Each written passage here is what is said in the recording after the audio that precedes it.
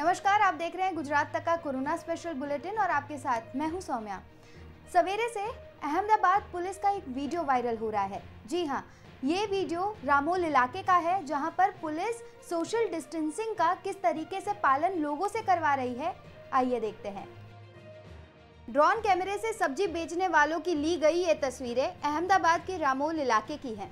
अब तस्वीरों में देख सकते हैं दूर दूर तक सब्ज़ी बेचने वाले लोग सोशल डिस्टेंसिंग बनाए हुए हैं और यह व्यवस्था इलाके की स्थानीय रामोल पुलिस द्वारा की गई है।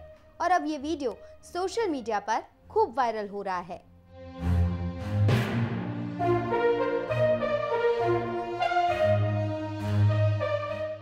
तस्वीर दिखाने के बाद चलिए अब आपको लिए चलते हैं अहमदाबाद के साणंद इलाके में। जी हाँ जहाँ पर सरेआम सोशल डिस्टेंसिंग की धजिया उड़ रही हैं। तस्वीर देखकर आपको ये लग रहा होगा कि कोई तीज त्योहार है, खरीदी चल रही है। मार्केट इंसानों से लबालब भरा हुआ है। हर एक शख्स इधर मानो सोशल डिस्टेंसिंग से अनजान नज़र आ रहा हो, ऐसा लग रहा है। दूर दूर तक बस भरा हुआ बाज़ार और इंसानों का जमावड़ा दिख रहा है। शक्ल पर कोरोना की दहशत तो दूर की बात है। शायद ये सारे लोग कोरोना से अनजान नज़र आ रहे हैं। ये तस्वीरें सरकार के सारे लॉकडाउन की नीतियों को मुँह चिढ़ाती नज़र आ रही हैं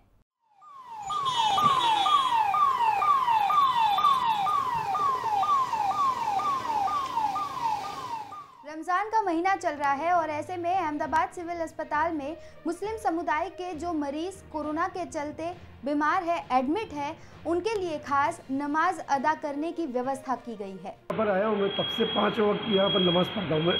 रात को चार बजे से उठ के ताजिद भी पढ़ते हैं और पाँच वक्त की नमाज़ भी पढ़ते हम। और यहाँ पर नमाज़ की फैसिलिटी अच्छी है और हमारे खाटने के पास में नमाज़ पढ़ लेते हैं। आज गुजरात पहुँची, जहाँ पर चर्चा हुई कि किस तरीके से लॉकडाउन खुलने के बाद फैक्ट्रीज और साथ साथ में इंडस्ट्रियल एरिया है, वो काम करेंगे।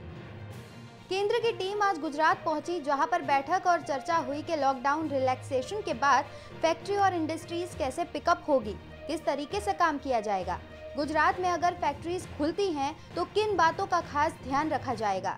टीम जीआईडीसी और एपीएमसी में भी पहुँची, जहाँ पर निरीक्षण किया और लॉकडाउन के बाद की परिस्थितियों का किस हिसाब से सामना किया जाएगा उसकी भी चर्चा करने में आई કેન્દ્રની ટીમ અ, ગુજરાતમાં જે લોકડાઉન રિલેક્સેશન મેશર્સ જે ચાલી રહ્યા છે એને એને મોનિટર કરવા માટે અને કયા કયા પ્રક્રિયા કયા કયા પહેલ ગુજરાત ગુજરાત રાજ્ય સરકારે અને અમદાવાદના જિલ્લા વહીવટીતંત્ર કયા પહેલ રીતે એ લોકડાઉનની રિલેક્સેશનની ગાઈડલાઇન્સ પાલન કરી રહ્યા છે અદરવાઇઝ કંઈ સ્પેશિયલ ઇનિશિયેટિવ્સ લઈ રહ્યા છે એના ઉપર પણ અ, કેન્દ્રના ટીમ મોનિટરિંગ કરી રહ્યા છે તો કેવી રીતે ઇન્ડસ્ટ્રીઝ પિકઅપ થાય છે કે કેમ ત્યારના પરિસ્થિતિ શું છે લેબરની કેવી રીતે છે સપ્લાય સિસ્ટમ ઓન છે કે નથી આ બધું ચકાસણી કરવાના છે सूरत में आज मजदूरों द्वारा वापस से तोड़फोड़ की तस्वीरें सामने आई हैं और इसी के साथ मजदूरों ने वतन वापसी की भी मांग की है सूरत का डायमंड बुर्स प्रोजेक्ट में फिर एक बार मजदूरों ने हंगामा किया और तोड़फोड़ की खबर मिलते ही पुलिस मौके पर पहुंची और मजदूरों को बैठकर समझाने का प्रयास किया गया मजदूरों ने आरोप लगाया कि उन्हें खाना पीना नहीं मिल रहा है और वे लोग अपने गाँव जाना चाहते हैं। गौरतलब है कि लॉकडाउन के बावजूद यहाँ प्रोजेक्ट का काम चल रहा है। तो प्रश्न पूछना है आपको सिर्फ़ हमें कि ये हो गया ना वो हो गया। यार भारत देश के नागरिक हो तुम्हारी भी ज़िम्मेदारी नहीं बनती है? हैं दूसरे देशों को देखो कितनी संख्या में मर रहे हैं लोग। सेफ़ हो एकदम सेफ़ हो। मैं आज अपने गाँव चले जाना चाहता हूँ। नहीं आएगा कोरोना, मुझे पक्का पता है। तो तुम ही बाउंड्री के अंदर सेफ़ हो। गौरतलब है कि गुजरात में अब तक कोरोना केसेस की संख्या 3550 के पार हो चुकी है। अहमदाबाद की बात करें तो अहमदाबाद में संख्या 2500 के पार हो चुकी है और अब तक गुजरात में एक सौ बासठ लोग से भी ज़्यादा कोरोना की वजह से अपनी जान गंवा चुके हैं।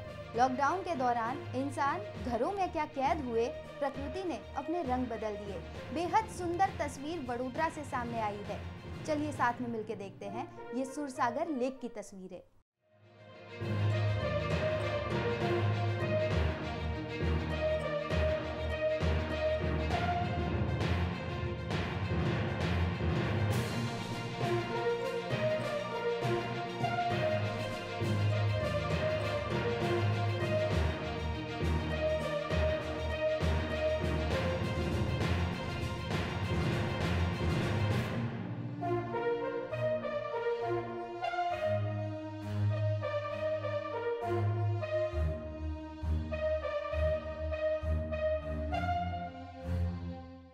तो कोरोना स्पेशल बुलेटिन में अभी फ़िलहाल इतना ही। मुझे दीजिए इजाज़त।